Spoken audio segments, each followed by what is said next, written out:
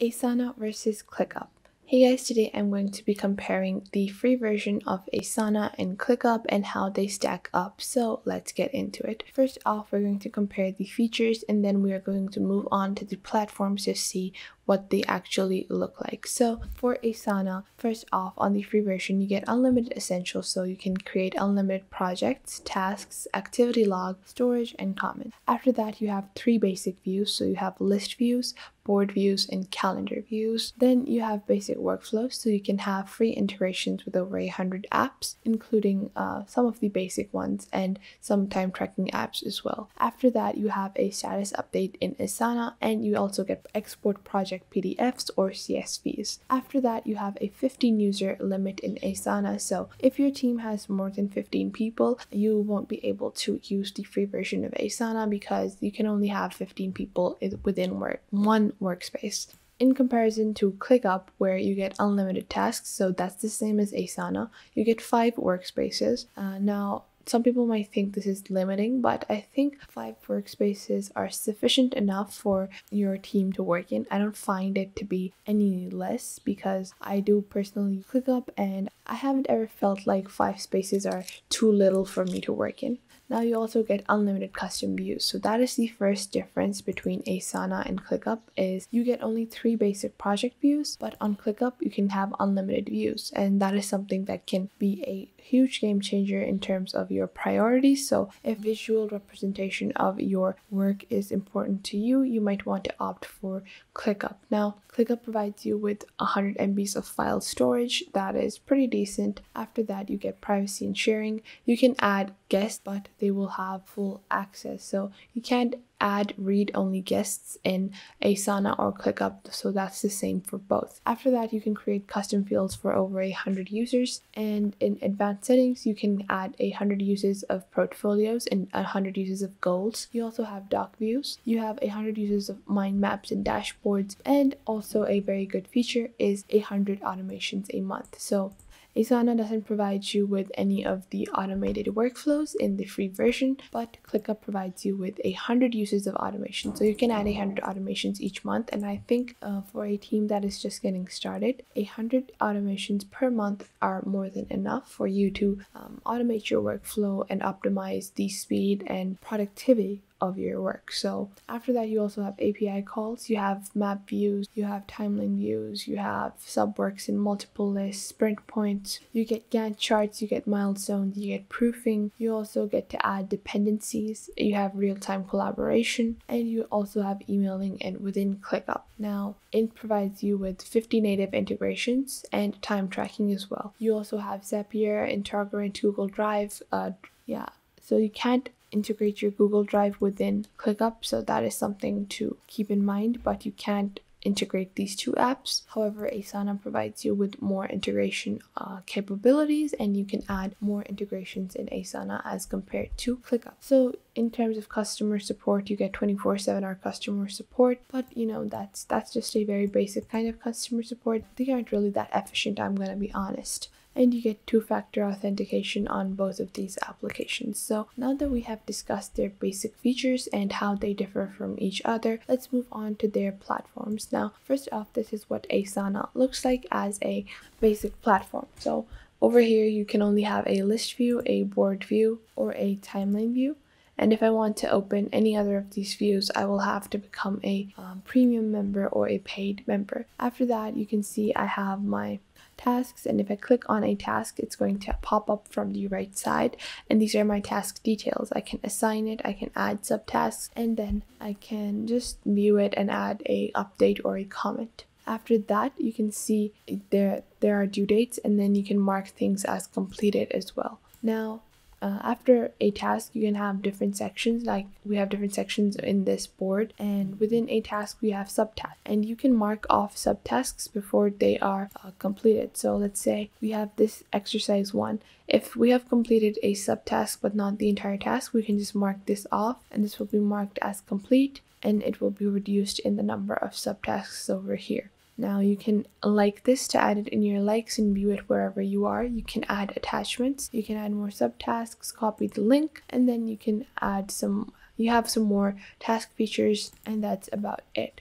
Now for your home settings, you can see this is what the home page for your Asana profile will look like. You have different workspaces you can create and that's the good part of Asana. You can create as many as you want. So no matter how much trial and error you are doing, you can just create more workspaces and uh, get to figure out the platform very easily. After that, you can see on the left there's the My Tasks option, and I find this very helpful and it's something that ClickUp does not have. Um, it doesn't have it as visually present as Asana does, and this allows you to track all of your tasks in a list board or calendar form, and you can see everything that has been assigned to you, and this will help you monitor your own personal work, and you don't have to open each of your workspaces to start on your work. You can just view your my tasks and get started with your day. Now moving on to the clickup platform and how that is going to function and look like.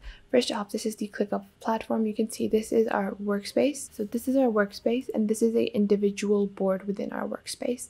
If i want to create another board i can just click on this and click on new list. I can just click on ap math. And now i have created two boards within a singular workspace. So with this option, you can really create as many boards as you want on the free version and you don't have to be limited by the workspace at all. But some people prefer to have a entirely different workspace and that is a understandable request too. Now for customization within a workspace now you can add a section and a task within a workspace just the same as Asana. So let's just say so we've added homework and you can see we have a board view over here as well. We can add another status so we can color it as we want. Maybe we want it to be pink and we can rename it to progress like this. Now you can see I've added a in progress version and now if my homework or any task that I'm doing is in progress I can move it over here and then when it is complete I can move it over here and these are available in the list forms as well but it's easier to use the board version as compared to the list I must say. I find the board view so so so much easier to use. Now in other views that are not provided by Asana you can see I'm going to open up some more views on ClickUp because that is one of ClickUp's biggest biggest positive I've noted that. It's the biggest plus point in using ClickUp. It's the very beautiful views that you get and that can really help you optimize the workflow within your team or your company. Now you can see this is a basic board view. After that you have your Gantt view. So that is a basically a timeline view. You can see it over here.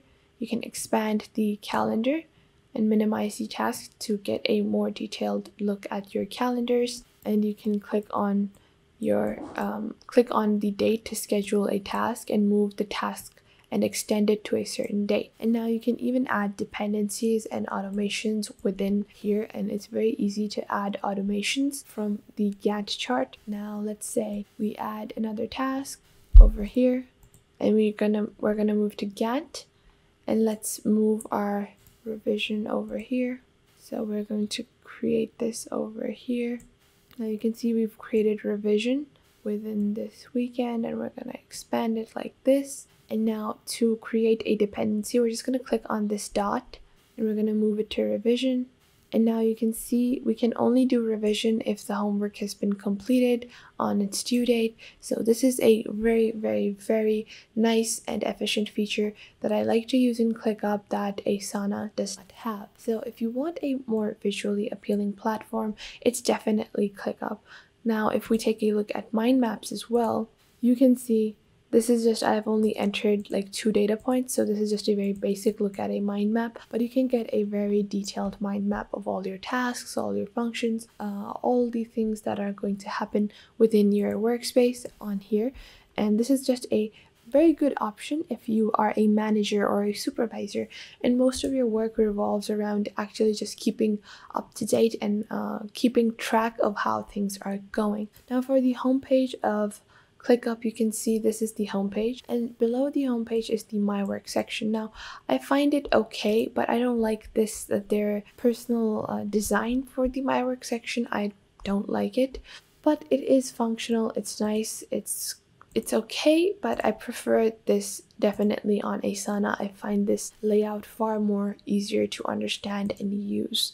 Now you can see in the My Work section, you have a to do, you have a comments, you have a completed work, and you have a delegated work as well. So below that, you have your notifications, you have your pulse. So the pulse feature is basically not your your timing or the amount of work you're doing online and what someone else is doing on your team as well if they are online or if they are offline you can monitor that as here over here as well and then you can add goals on clickup as well now goals you will have to add manually and really have to track the progress manually as well but it is still a pretty decent feature to use on clickup Overall, I think both are good project management softwares and the free versions on both are pretty good, but I definitely would say that I prefer ClickUp over Asana. I think the overall functionality and user interface is far more appealing and it's far easier to work in if you're using ClickUp. So I hope you guys found this video helpful and you're now able to choose your project management software more easily. I will catch you guys in the next video.